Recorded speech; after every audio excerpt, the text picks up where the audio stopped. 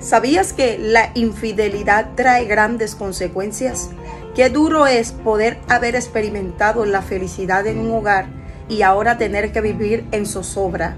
Ya no hay confianza, el apoyo mutuo se va acabando, la lealtad desaparece.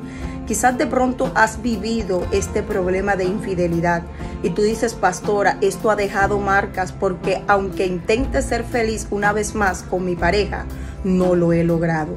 Permíteme orar por ti. Yo creo que Dios sana heridas. Yo creo que Dios hace nuevas todas las cosas y puede restaurar tu hogar o tu matrimonio.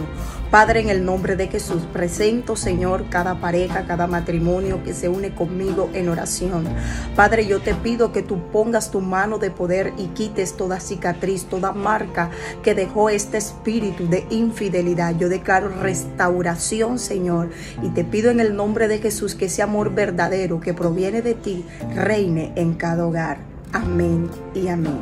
Bendiciones.